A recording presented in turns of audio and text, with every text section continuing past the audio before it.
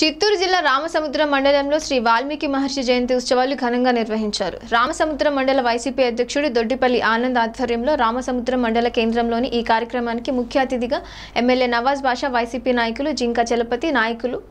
వాల్మీకి కులస్తులు వాల్మీకి మహర్షి విగ్రహానికి పూలమాలలు వేసి నివాళులు అర్పించారు.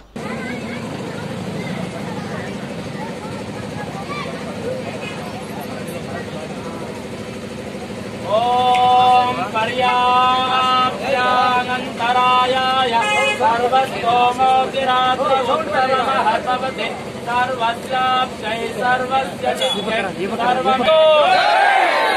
महर्षि वाल्मीकि को बोलो महर्षि वाल्मीकि को वाल्मीकि को वाल्मीकि को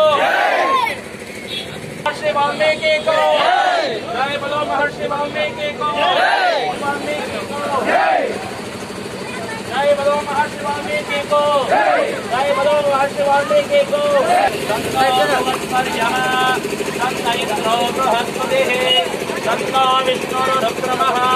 नमो ब्रह्मणे नमस्ते वायु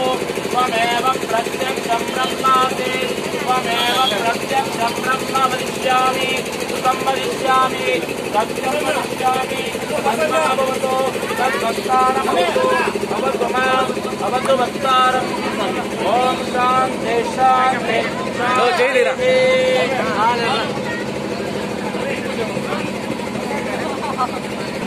ప్రపంచవ్యాప్తంగా వాల్మీకి జయంతిని జరుపుకుంటున్న సందర్భంలో నిరంతరము ప్రజా సమస్యలకే అలపెరగని పోరాటం చేస్తూ నిత్యము ప్రజల కోసం తప్పించే వ్యక్తి